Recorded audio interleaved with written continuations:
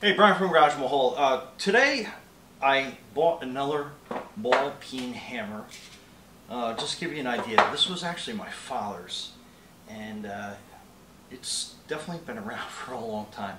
Uh, but it got to the point where I needed something just slightly heavier, even though it looks like it's probably about the same size. Maybe that was like kind of like the attraction towards it. Um, it's got a little more metal, and it actually it does feel a lot heavier than this. Um, this one, I'm like, you probably can tell from my hands, I get like filthy greasy because it's like the main one that I use in my garage.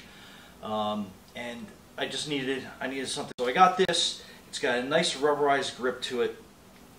Um, and it's got nice grooves in it as well. So if I use it on like my garage side of the, uh, the studio, um, I know it's not going to slip out of my hands when I get it all greasy because it's got some, uh, some grip to it that was part of the reason why this thing I ended up having to uh, kind of like surrender to probably I'm going to clean it up, sand it up, restain it, get it back to, to normal. But anyway, so I got this one. It is the uh, 16 ounce 454 gram uh, ball peen hammer. So like I said, it's got like the nice flat top to it. And I'm making a video on it primarily because um, when you're looking online, you, you can't really see exactly what the size of it is. So hopefully that'll give you kind of like some perspective.